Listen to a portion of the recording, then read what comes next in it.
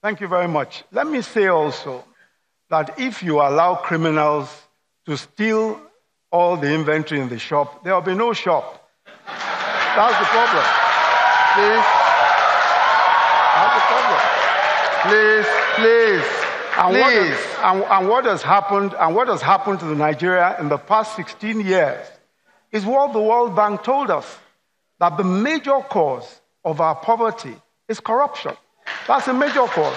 That's what we've been told. So, so, so let me say, so let me say that there is no way that we can minimize what has happened. We can't minimize corruption. If you minimize it, we run the risk of completely.